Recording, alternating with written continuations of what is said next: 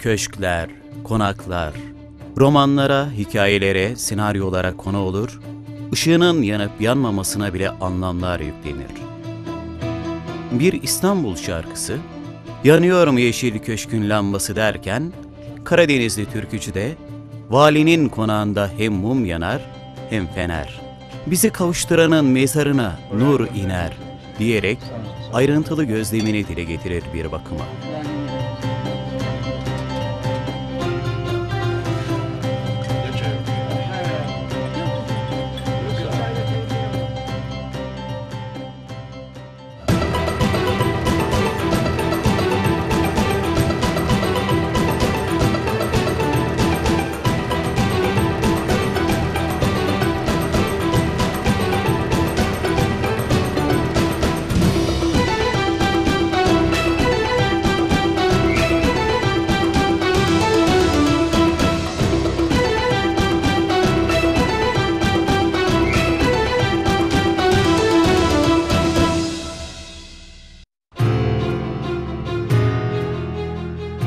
Köşkler, konaklar, malikaneler. Dünyanın her yerinde, her toplumda mimari ve sosyal açılardan ilgi odağı olmuştur. Karadeniz'in her metrekaresi tarihi bir olaya tanıklık etmiştir. Başka bir ifadeyle buram buram tarih kokar Doğu Karadeniz. Doğu Karadeniz'in şirin kenti Trabzon, beylerin, şehzadelerin, padişahların ve nice tarihi şahsiyetin izlerini taşır. 1924 yılında Trabzon'a gelen Gazi Mustafa Kemal, daha sonra kendi adını alacak olan tarihi köşkte kalmıştır. Gazi, bu köşkü çok sevmiş ve Trabzon'a her gelişinde soğuk su sırtlarında bulunan ve bölgeye hakim bir konumda olan Atatürk Köşkü'nde kalmayı tercih etmiştir. Atatürk, 11 Haziran 1937 gecesi bu köşkte bütün mal varlığını canından çok sevdiği Türk milletine armağan etme kararını almış ve vasiyetini burada hazırlamıştır.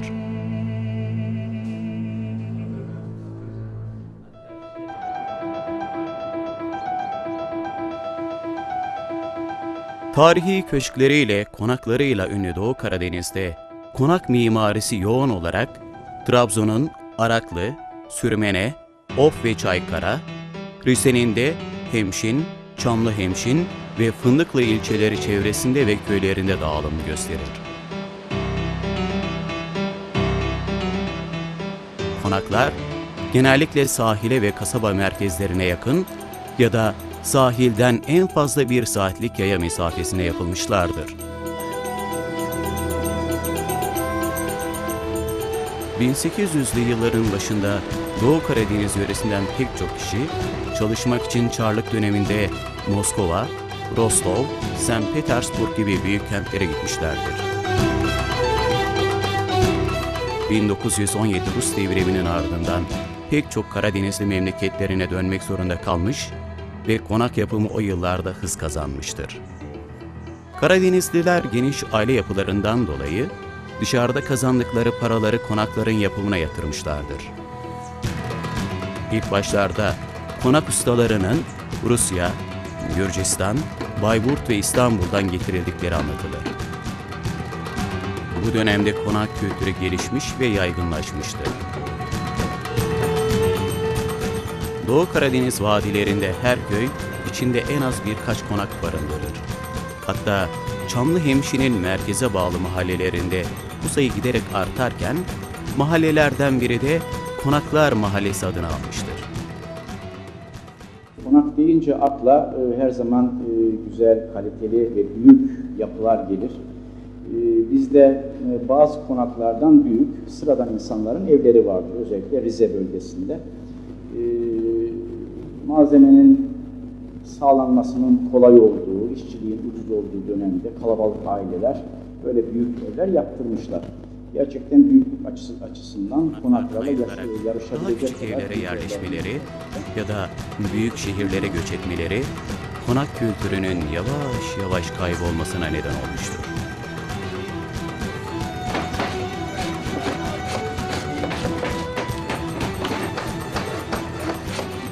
Yörede mimari geleneği yaşatmak ve konakları tekrar yaşanabilir bir hale getirmek için Fındıklı Kaymakamlığı, Halk Eğitim Müdürlüğü ve Karadeniz Teknik Üniversitesi Mimarlık Fakültesi öğretim üyeleri geleneksel ustalardan yararlanarak 30 gence bu geleneksel mimariyi öğretmek ve uygulamak için yetiştiriyorlar.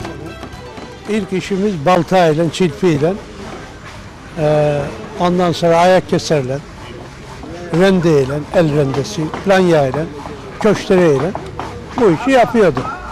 Şimdi atölye davasından atölyeyle işi şipşak çıkarıyoruz. oluyoruz. Gelecek kuşaklara e, bu işin nasıl yapıldığını en azından göstermek. ders gördük. Bizler de ders gördük. Mimarlık Fakültesi'nde. Dolma evlerin e, yaşat- yaşayacağına inanıyorum bu projeyle. E, bu göz dolma evlerin bundan sonra e, insanlar gördükçe tekrar yaptırmak isteyeceğine ve eski evlerimizi onar, onarmak isteyeceklerine Fakültesiyle beraber, hocalarımızla beraber biz e, bu işe eli yatkın ustalar ve kursiyerlerle beraber toplam 35-40 kişilik bir ekip oluşturduk. Şu anda bu evleri tamamen aslına uygun olarak onarabilecek bir ekibimiz de hazır olmuş oldu. E, bu şekilde biz bu evleri e, geleceğe daha güzel bir şekilde, e, korunmuş bir şekilde biz e, taşımayı düşünüyoruz. E, tabii bu korumanın dışında... Yapı şekli bakımından konakların dört çeşit olduğunu söyleyebiliriz. Birinci tip konaklar, bodrum kat, taş, yığma taş, yığma taş duvar, diğer katlar tamamen ahşap bir yapı özelliği taşır.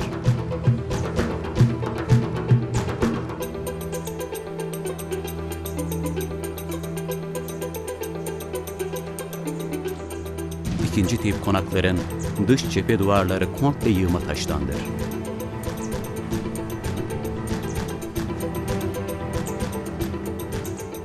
Üçüncü tip konaklar taş, ahşap karma bir yapı özelliği taşır. Bu tipte bodrum kat tamamen yığma taş, diğer katlar ön cephe ahşap, kuzey ve arka cepheler ahşap, karkas göz taşı dolgudur.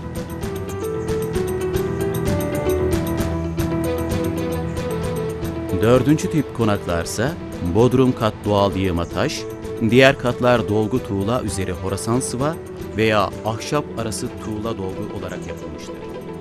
Doğu Karadeniz konaklarının dış duvarlarında kullanılan temel malzeme taş ve ahşaptır. Bu malzemeler yakın çevreden elde edilir.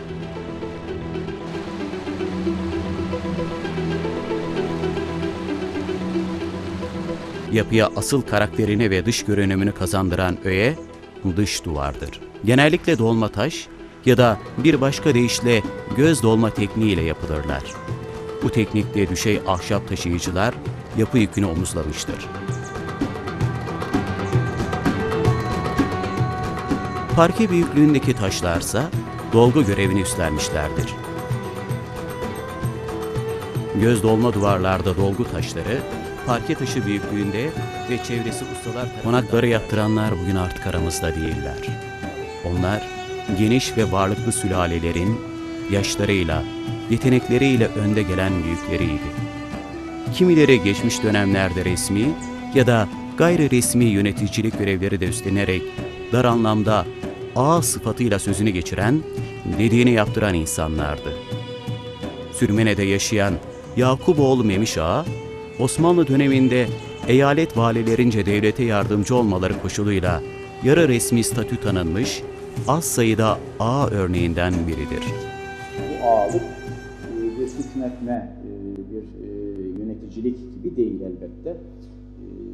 Günümüzde bile azıcık çevresi olan insanlara ağa diye takıldıkları çok olur insanların. Dolayısıyla bölgemizdeki konaklarda e, ağalık izlerini görmek ama dediğim anlamda konakların e, en eskisi neredeyse 200 yıla kadar varabiliyor. E, En son yapılan konaklarda neredeyse 1915'ler gibi e, artık Cumhuriyet döneminde yapılan Konaklar, sahibinin kendisinden söz ettirmesi için yapılır. Yaptıranın maddi gücü hakkında fikir verir, zenginliğini simgeler. Bu nedenle konakların dışarıdan gelecek her türlü saldırı ve tehlikeye karşı belli ölçüde dayanıklı olması konaklarda kullanıcıların tüm ihtiyaçları, mekan büyüklükleri, mekanlar arası ilişkiler akılcı bir şekilde çözümlenmiştir. Bu durum, yöre insanının kent ortamlarına da yabancı olmadığı izlenimini vermektedir. Doğu Karadeniz konakları, günlük yaşantının ihtiyaçlarına cevap verebilecek plan tiplerine sahiptir.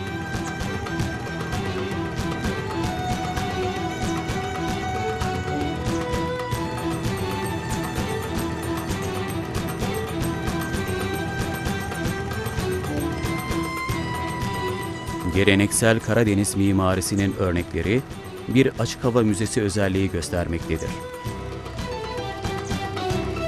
Sahipleri tarafından bir kısmı oldukça iyi korunmuş ve değerleri bilinmiş olarak yerlerinde durmaktadırlar.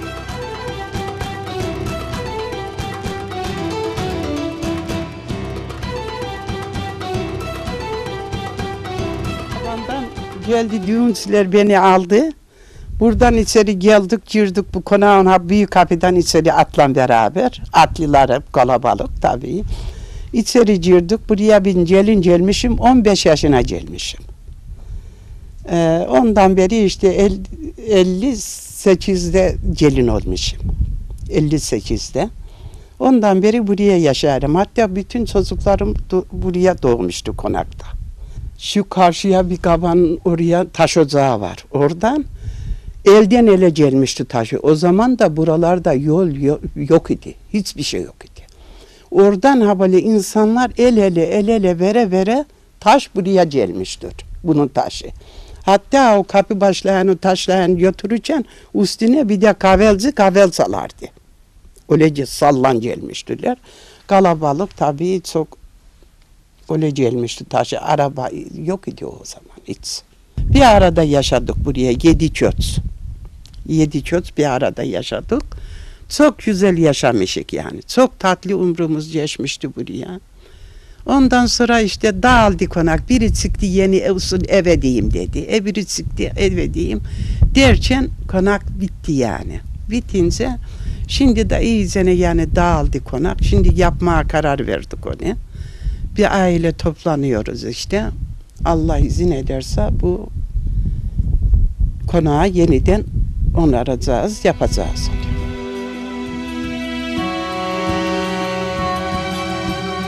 Bazı konaklar ailelerin kıt kanaat imkanlarıyla en azından çatıları yenilenerek korunmaya çalışılmış ama bu koruma çalışmaları çoğu kez konağın mimari özelliğini bozmuştur.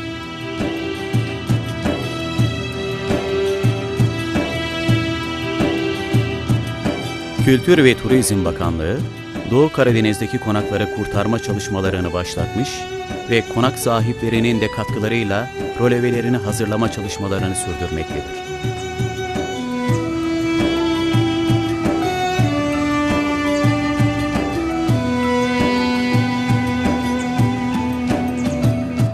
Köşkler, konaklar, malikaneler. Dünyanın her yerinde, her toplumda mimari ve sosyal açılardan ilgi odağı olmuştur. Böylesi yapılara ve içinde yaşayanlara gıpta edilir, özenilir, kıskanılır. Sahiplerinin amacı da budur bir bakıma.